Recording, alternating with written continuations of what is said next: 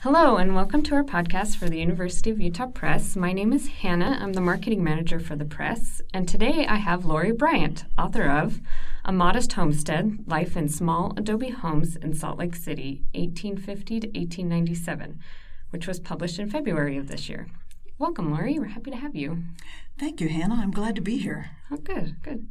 Uh, Laurie, um, from what I understand, you used to be a paleontologist. So I'd like to hear just a little bit about your journey from paleontology to Adobe Homes and what sparked your interest in vernacular architecture and how, and these houses specifically. Well, I think once a paleontologist, always a paleontologist. It, it's hard for me to pass up uh, a television show or a Facebook post about bones. so I still go there. Um, on the other hand, I've always been interested in anything old old things um, tend to have secrets that make them mysterious and make them seem to need investigation. So, as far as the owners of and designers of vernacular houses go, they very rarely kept records of their work or their plans. Um, and so there was everything to be found out. Very little known, nothing to find, or everything to find out. And when I retired, I started to look closely at buildings in my own neighborhood because there are a lot of old ones up there. And that led to my seeing Lorenzo Dow Young's house on Harvard Avenue. It's had some odd additions, and really I had no idea it was an adobe house until my friend Alan Barnett pointed it out to me. And then I was hooked. Oh, yeah, that's very interesting. Um, so, why do you, what do you think architecture makes such a good way into the lives and histories of ordinary people? Well, everyone sends messages about who they are and what they're connected to through their dress, their speech, and often their homes. Uh, today, that message from homes is often based on the house size. But in early Salt Lake, building materials sent that message too. So until a railroad got to Salt Lake City in 1870, there just wasn't any efficient or cheap way to bring in materials like stone and lumber. So adobe was the default for everyone. People could afford to, yeah, they'd add some decorative touches and they'd build homes in, in uh, particular styles. But everyone else built just enough to provide shelter. I wrote about those people because no one else had coalesced their stories into a narrative. Yeah, that's good. Um, so, building off of that question, um, you mentioned the railroad coming in in 1870. So, can you trace this cultural evolution that happened in Salt Lake where adobe went from being considered a useful and central part of material uh, to a cultural representation of the lower class to actually being banned as a material. Yes, um, it's a really interesting way of looking at uh, the evolution of building materials uh, to see them from the standpoint of the arrival of the railroad. It did play a major role in the in the demise of Adobe. First, because the railroad brought in timber and mill equipment to cut it into lumber.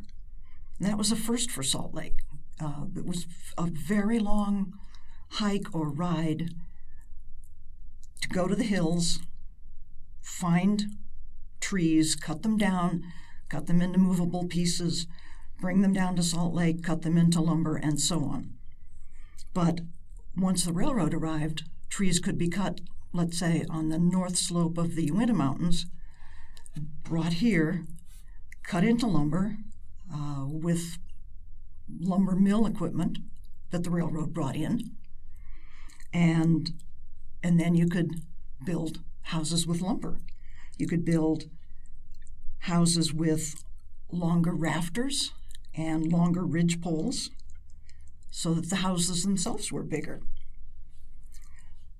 The railroads also brought lumber and coal or wood and coal that could be used to fire brick furnaces and make fired brick. A real improvement over adobe.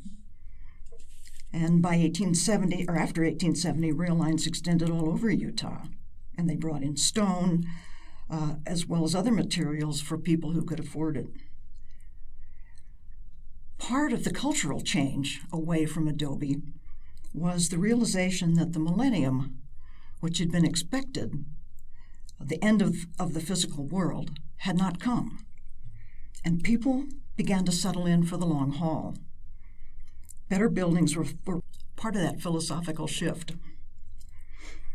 Adobe homes became objects of derision as Salt Lake City prospered, and banning them was part of the cultural evolution in what was called the progressive era.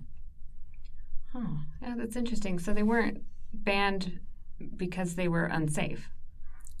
No, I don't think so. Uh-huh. Uh, they simply were part of the past, and Utah was moving forward. Oh, that's interesting. I didn't know that. So you mentioned uh, in your book using the Sanborn fire insurance maps for Salt Lake City to locate many of these adobe homes, especially ones that have been remodeled and might otherwise be difficult to identify. But you also mentioned spotting adobe buildings the Sanborn map overlooked. So how did you train your eye to find these buildings and what are your main visual indicators?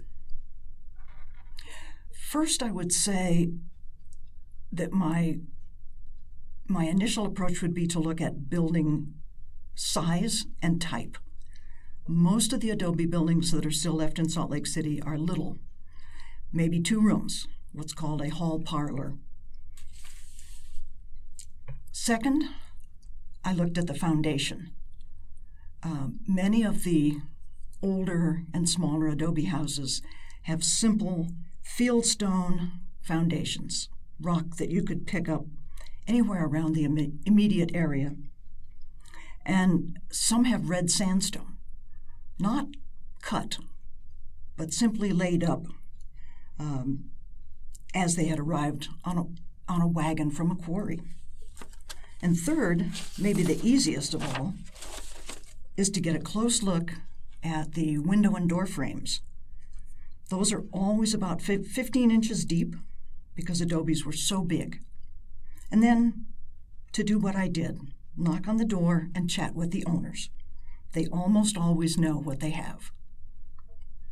Uh, that actually leads into my next question perfectly. Um, so I attended this lecture you gave to the, for the King's English at, at, the 15th Street Gallery, which was very interesting.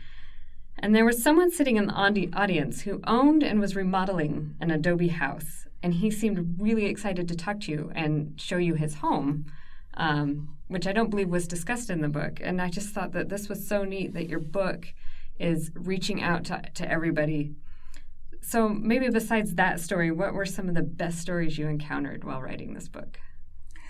Oh, I think the two best stories were finding that the George Edward Anderson house on Third Avenue. He was a pioneer Utah photographer. Um, and this was his childhood home. Uh, to my knowledge, it had never been identified specifically, but through title searches and other kinds of information, I found out that it was indeed built by his father. The owners allowed me and, and my colleague Tom Carter inside, into the cellar, upstairs, everywhere, so that we could see what material, materials were used, how it had been built, everything. It was a dream come true. Unfortunately, Ed Anderson's life in that house wasn't a happy one, and that's part of my book. Hmm. And another house on 700 North had a wonderful story. It was about an English pioneer woman of 1853 who helped her husband build it in 1855. And then the next week, I'm sorry, and then the next month buried her first baby in the backyard. That led to finding her journal, the original, transcribing it, and meeting her descendants at a lunch they arranged for me. They brought family pictures, uh, that dated back to the time of Savage and Ottinger, the 1870s. Uh, wonderful things. That, that's interesting. And another uh, story is uh, when John Alley, who acquired this manuscript, um, was looking through it, he found his, I'm going to get this wrong, great great grandfather's land plot in it, in one of the maps you had in it. So I find it interesting how far reaching this book is. There is a lot that can be taken away from this book. Um, it can be a socioeconomic study, it can be a geographic study.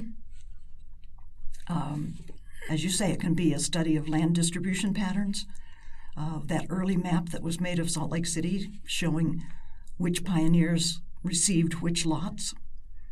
Um, and that, that information is still preserved at places like the county recorder's office so that you can find out exactly who owned your property and when. Yeah, that's very interesting. Uh, can you talk about how the environment of Salt Lake City influenced both the architecture and demand for adobe homes? Well, Utah had an early reputation as a very harsh place. No one else had settled here. Nobody wanted to. So, when the Latter day Saints chose it in the 1840s, it was in part because of its isolation and its disconnection from the rest of the United States. That meant that the settlers were also isolated from the material goods that they used to have access to.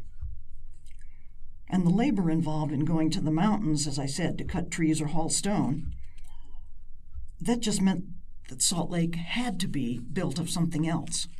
And as it turned out, that something else was mud from the many creeks that came across the valley, because all of them had floodplains, wide areas where the creeks fanned out and deposited mud.